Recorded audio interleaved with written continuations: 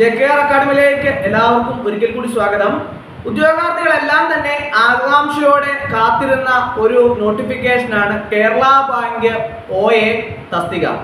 അപ്പോൾ കേരള ബാങ്കിന്റെ O A തസ്തികയിലേക്കുള്ള notification അടുത്ത മാസം വരുന്ന പി എസ് സിയുടെ വിജ്ഞാപനങ്ങളിൽ പ്രസിദ്ധീകരിക്കുന്നതാണ് എന്നാണ് അറിയാൻ കഴിയുന്നത്. അപ്പോൾ ഉദ്യോഗാർത്ഥികൾക്കെല്ലാം തന്നെ വളരെ സന്തോഷം നൽകുന്ന കാര്യമാണത് കാരണം എന്താണെന്ന് ചോദിച്ചാൽ ഏറ്റവും ചെറിയ യോഗ്യതയുള്ള ഉദ്യോഗാർത്ഥികൾക്ക് പോലും അപേക്ഷിക്കാൻ പറ്റിയ രീതിയിലുള്ള ഒരു നോട്ടിഫി തസ്തികയാണ് ഒരു നോട്ടിഫിക്കേഷനാണ് ഈ ഒ എ തസ്തിക എന്ന് പറയുന്നത്. അപ്പോൾ അതിലേക്ക് വളരെ പ്രധാനപ്പെട്ട ഒരു കാര്യം എന്താണെന്ന് ചോദിച്ചാൽ പല ഉദ്യോഗാർത്ഥികളും മുപ്പത്തി ആറ് വയസ്സാകുമ്പോൾ തങ്ങളുടെ ഏജ് ഓവറായി എന്നുള്ള ഒരു ചിന്താഗതിയിൽ പിന്നീട് നോട്ടിഫിക്കേഷൻ ഒന്നും തന്നെ നോക്കാതിരിക്കുന്ന ഒരു സ്ഥിതിവിശേഷമാണ് പൊതുവെ കാണാറുള്ളത്.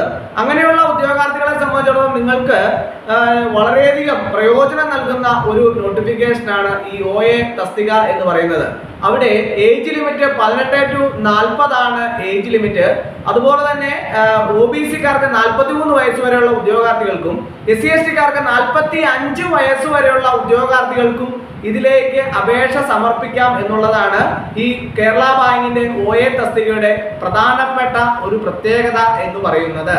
അപ്പോൾ ഉദ്യോഗാർത്ഥികളെ സംബന്ധിച്ചിടത്തോളം അവർക്ക് വേണ്ട യോഗ്യത എന്ന് പറയുന്നത് സെവൻത് പാസ് ആണ്. അതുപോലെ തന്നെ ഡിഗ്രി പാടില്ല എന്നുള്ള ഒരു കാര്യം കൂടി അതിന്റെ അകത്ത് ഉൾപ്പെടുന്നുണ്ട്. അതുപോലെ തന്നെ സൊസൈറ്റി അത് ഓപ്പൺ കാറ്റഗറിയാണ് സൊസൈറ്റി പ്രവർത്തിക്കുന്നവരെ സംബന്ധിച്ചിടത്തോളം അവർക്ക് ഡിഗ്രി ഒരു പ്രശ്നമുള്ള കാര്യമല്ല. സെവൻത് പാസും ഡിഗ്രി ഒരു പ്രശ്നമുള്ള കാര്യമല്ല എന്നുള്ള കാര്യം കൂടി അവർ മനസ്സിലാക്കിയിരിക്കണം. അപ്പോൾ സൊസൈറ്റി കോട്ടയുള്ളവരുടെ കാര്യമാണ് ഞാൻ പറഞ്ഞത്. ഓപ്പൺ കാറ്റഗറിയിലെ സാധാരണ ഉദ്യോഗാർത്ഥികളെ സംബന്ധിച്ചിടത്തോളം അവർക്ക് സെവൻത് പാസ് ആണ്. ഡിഗ്രി പാടില്ല എന്നുള്ള കാര്യം പ്രത്യേകം ഓർത്തിരിക്കണം. അത് നിങ്ങൾ തെറ്റായ ഒരു രീതിയിൽ അതിനെ ചിന്തിക്കരുത്. അപ്പോൾ ഈ ഒ എ എന്ന് പറയുന്നത് വളരെയധികം പ്രൊമോഷൻ സാധ്യതകളുള്ള ഒരു തസ്തികയാണെന്ന് കൂടി എല്ലാവരും പ്രത്യേകം മനസ്സിലാക്കിയിരിക്കേണ്ട ഒരു കാര്യം കൂടിയാണ്. അപ്പോൾ ആ പ്രൊമോഷൻ കാര്യങ്ങളൊക്കെ കുറിച്ചൊക്കെ ഞാൻ പിന്നീട് ഒരു അവസരത്തിൽ ഇതിനെക്കുറിച്ചൊരു വീഡിയോ ചെയ്യുന്നതാണ്.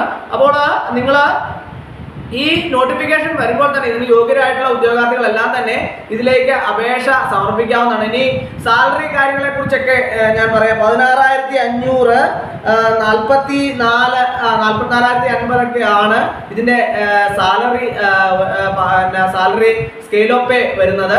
അപ്പോൾ ഇതിലേക്ക് അപേക്ഷ സമർപ്പിക്കേണ്ട നോട്ട് പി എസ് സി വഴിയാണ് അപേക്ഷ സമർപ്പിക്കേണ്ടത്. കാരണം വെച്ചാൽ പല ഉദ്യോഗാർത്ഥികൾക്കും തെറ്റിദ്ധാരണയുണ്ട്. കേരള ബാങ്കിന്റെ നോട്ടിഫിക്കേഷൻ വരുമ്പോൾ അത് എങ്ങനെയാണ് അപേക്ഷ സമർപ്പിക്കേണ്ടത് എന്നതിനെ കുറിച്ച് കൃത്യമായിട്ടുള്ള ധാരണ പല ഉദ്യോഗാർത്ഥികൾക്കും ഇല്ലാത്തൊരു സ്ഥിതിവിശേഷമാണ് കാരണം എന്താണെന്ന് ചോദിച്ചാൽ പല ഉദ്യോഗാർത്ഥികളും എന്നെ വിളിച്ച് ചോദിക്കാറുണ്ട്. സാറേ ഇതിന് നോട്ടിഫിക്കേഷൻ പി എസ് സി വഴിയാണോ വരുന്നത്? അല്ലാതെ കേരള ബാങ്കിലേക്ക് ഡയറക്റ്റ് ആയിട്ടാണോ അപേക്ഷ സമർപ്പിക്കേണ്ടത് എന്ന് പല ഉദ്യോഗാർത്ഥികളും ചോദിക്കാറുണ്ട്.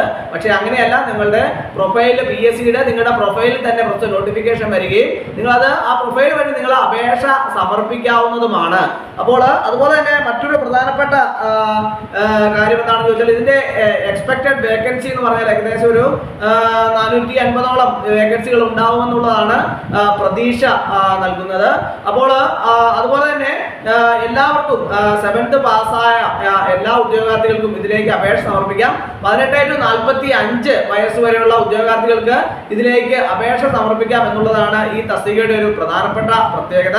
അപ്പോൾ ഇതിലേക്ക് യോഗ്യരായിട്ടുള്ള എല്ലാ ഉദ്യോഗാർത്ഥികളും നോട്ടിഫിക്കേഷൻ അടുത്ത ആഴ്ച തന്നെ പ്രസിദ്ധീകരിക്കുന്നതാണ്. അപ്പോൾ ഉടൻ തന്നെ അപേക്ഷ സമർപ്പിക്കേണ്ടതാണ്. അപ്പോൾ എല്ലാവർക്കും ഇന്നത്തെ ക്ലാസ് ഇഷ്ടമായെന്ന് വിചാരിക്കുന്നു. പരമാവധി എല്ലാവരിലേക്കും നമ്മുടെ ക്ലാസ്സുകളെല്ലാം തന്നെ ഷെയർ ചെയ്ത് എത്തിച്ചു കൊടുക്കുന്ന. ഒരിക്കൽ കൂടി പറഞ്ഞുകൊണ്ട് നിർത്തുന്നു. നന്ദി നമസ്കാരം.